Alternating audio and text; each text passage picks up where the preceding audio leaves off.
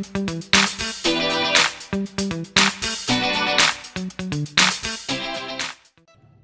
friends, how are you doing? I'm AV Creative coming up with a new video. In this video, I'm gonna shock you by this 4x4 magic square trick.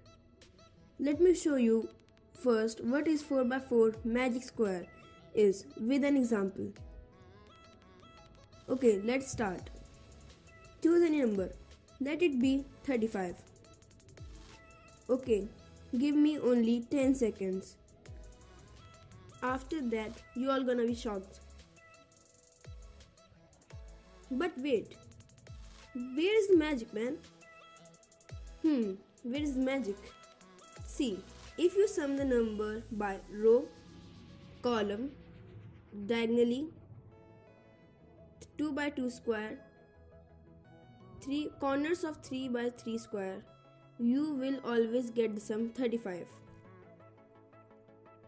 and there is total 28 numbers of combination to find your number in this 4x4 magic square.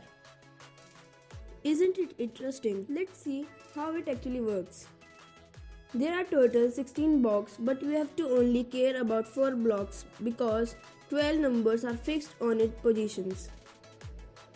The fixed numbers are 1, 12, 7, 11, 8, 2, 5, 10, 3, 4, 6 and 9.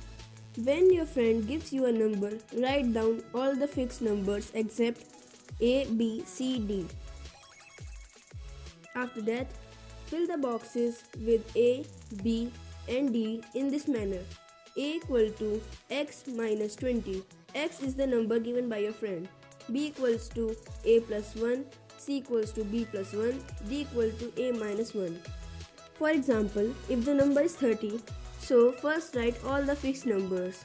Then, by the following method where a equal to x minus 20 as x equal to 30 a equal to 30 minus 20 equals to 10 b equal to a plus 1 10 equal to 10 plus 1 equal to 11 c equals to b plus 1 equal to 11 plus 1 equal to 12 d equals to a minus 1 equal to 10 minus 1 equal to 9 here it is, your magic square is ready. Thanks for watching this video. Like, share and subscribe because it motivates me to make more such videos for you.